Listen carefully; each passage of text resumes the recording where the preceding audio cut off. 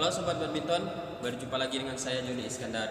Pada kesempatan ini, saya akan memberikan tutorial yaitu eh, kombinasi-kombinasi pukulan ganda pemain belakang.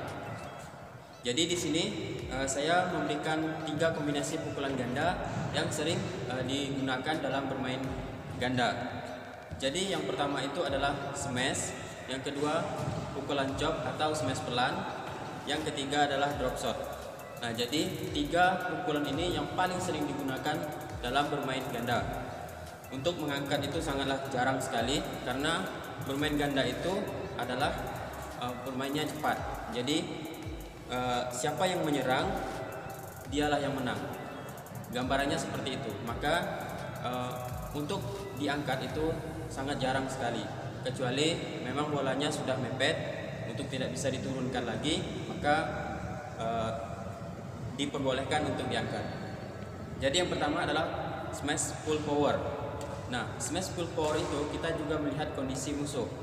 Jika si musuhnya uh, teman si musuhnya satu itu lemah, maka bisa jadi uh, kita serang ke yang lemah.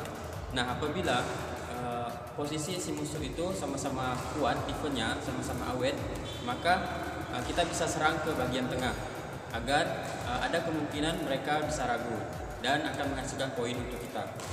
Uh, kemudian yang kedua adalah uh, chop atau pukulan smash pelan. Nah ini yang sering juga digunakan. Selain full power, uh, kita bisa juga uh, menggunakan smash pelan.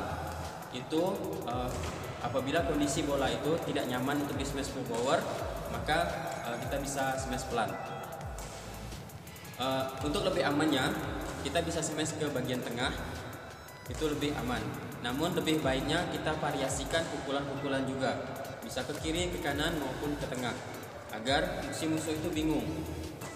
Arah bola kita tidak bisa ditebak oleh si musuh. Kemudian yang ketiga ada drop shot. Nah, drop shot di sini juga salah satu serangan karena uh, tujuannya menurunkan bola untuk uh, memberikan kesempatan lawan mengangkat dan kita juga bisa menyerang lagi. Jadi drop shot. Nah, e, bermain ganda itu adalah 60%, 80% menyerang dan 20% bertahan. Jadi, apalagi e, tipikal pemain sekarang ini lebih banyak menyerangnya daripada pemain-pemain yang terdahulu. Baik, itu saja tutorial kali ini. Silakan yang ingin bertanya isi di kolom komentar dan yang ingin minta dibuatkan tutorial silakan juga uh, komen di bawah minta dibuatkan tutorial apa. Jika saya bisa melakukan maka akan saya lakukan. Jika tidak tidak saya lakukan. Uh, sampai ketemu di video-video saya berikutnya. Dan jangan lupa yang belum subscribe channel ini subscribe like komen dan bagikan ke teman-teman kalian